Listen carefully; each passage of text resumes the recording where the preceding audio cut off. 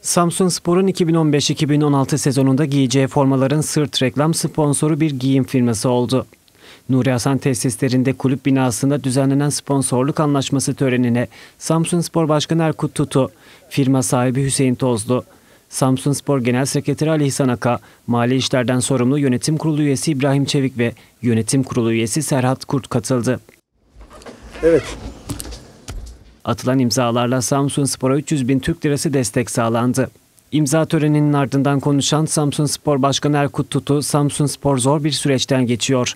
En büyük güvencemiz bu şehrin takıma sahip çıkması. 2015-2016 sezonu başladığından beri de sürekli şehirden yönetimimize ve kulübümüze ciddi anlamda destekler geliyor dedi. e, ciddi anlamlar destekler geliyor, devam ediyor.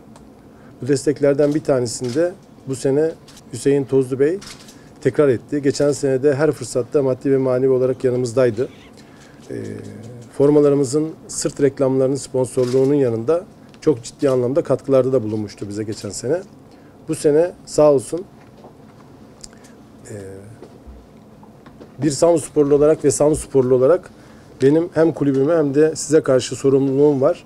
O yüzden e, üstüme düşen vazifeyi yerine getirmeye hazırım deyince e, biz de görüşmelerimiz sonunda tekrar hem isim sponsorluğumuzda sırt reklamı konusundaki isim sponsorluğu, e, sırt reklamı sponsorluğumuzu hem de e, kulübümüzün değişik yerlerinde e, ürünümüz olan reklam panolarımızda çok ciddi anlamda destekler verdi. E, ben hem şahsım adına hem kulübümüz adına iyi bir Samsunsporlu olduğunu inandığım Sayın Hüseyin Tozlu Bey'e teşekkür ediyorum. İnşallah e, bu destekler kulübümüze artarak devam eder. Çünkü bu destekler oldukça, bu birlik beraberlik oldukça Samsunspor güçlü olacak, başarılı olacak.